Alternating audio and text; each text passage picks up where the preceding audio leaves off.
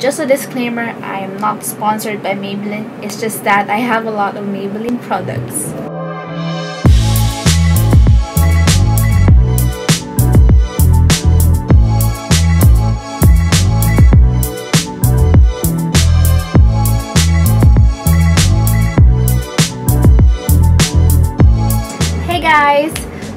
This is gonna be my first makeup tutorial. I have so much love for makeup but I'm just not quite sure how to film it or what look to film so now I've decided to this look.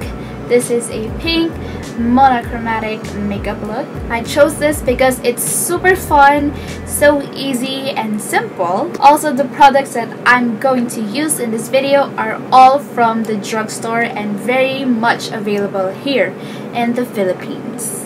This is for you guys who loves the color pink or just wants to rock a full face shades of pink. So let's go get started. First things first, I need some hydration and also gonna put on some lip balm to prep the lips. I'm gonna start with my base and for primer, I'm going to use this QuickFX No Shine Mattifier and put it on the areas that I'm more oily. In short, my T-zone and my cheeks.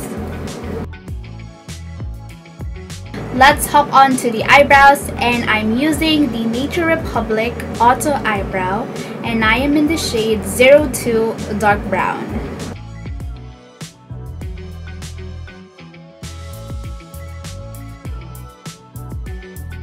For foundation, I'm going to use this Maybelline Fit Me Foundation Matte Plus Poreless in the shade 125 Nude Beige.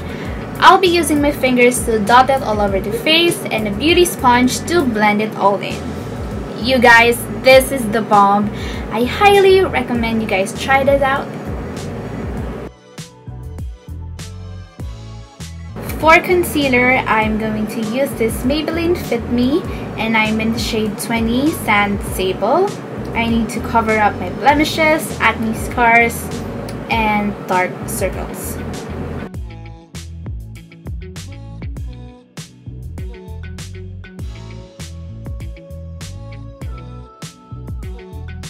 To set everything in place, I'm going to use another Maybelline product and this is the Clear Smooth All-in-One UV Lightning Oil Control 2-Way Cake. It has SPF 32 PA+++. I don't know what that means, but it sounds good. And this is in the shade 02 Nude Beige.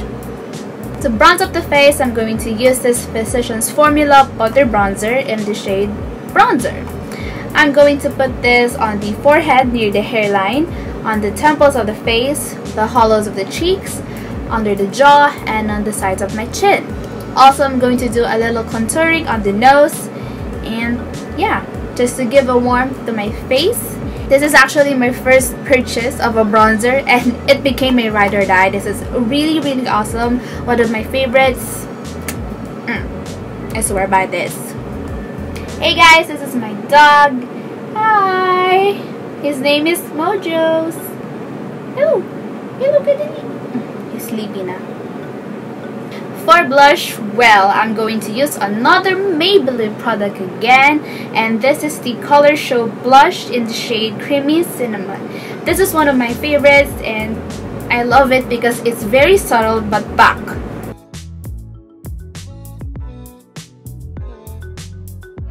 Now for the eye look, I'm only gonna use one palette and this is the Ever Bilena Pink palette.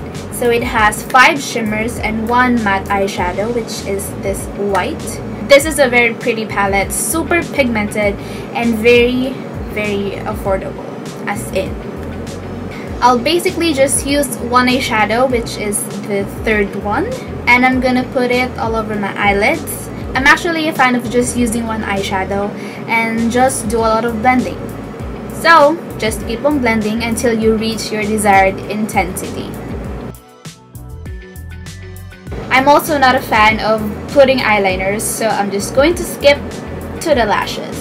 I'm gonna use this Nichido eyelash curler to curl up my lashes up to Jesus. And for mascara, I'm going to use another Maybelline product. This is the Hyper Curl Volume Express Mascara and this is waterproof.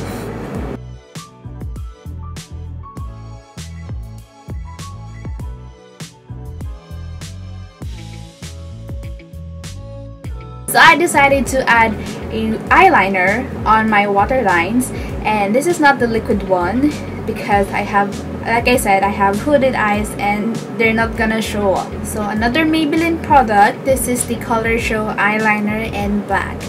So yep. For a closer look.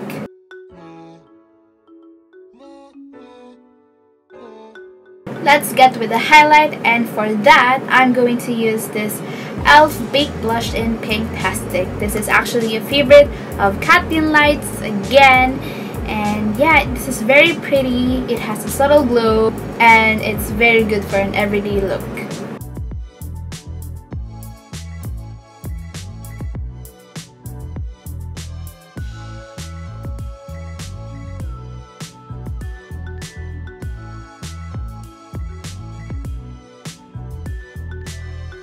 And now for the lips, I'm going to be using this Ever Bilena LTD liquid lipstick in Cashmere Blush. I've talked this a lot of times in my channel, well if you are watching my videos. So yeah, this is a favorite of mine. It has a great formula. Yeah, and it dries to matte.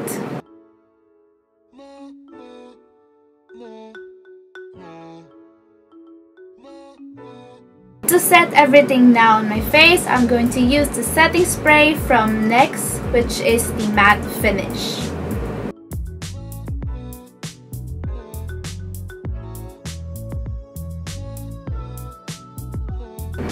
So I'm done. This is the finished look that I did.